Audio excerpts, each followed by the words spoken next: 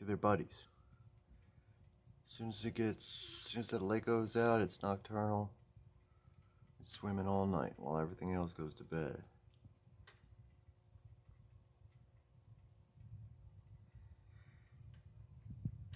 Live plants. A lot of filtration.